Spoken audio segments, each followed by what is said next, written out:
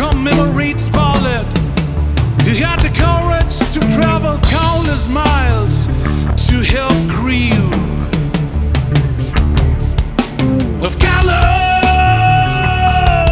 Expedition.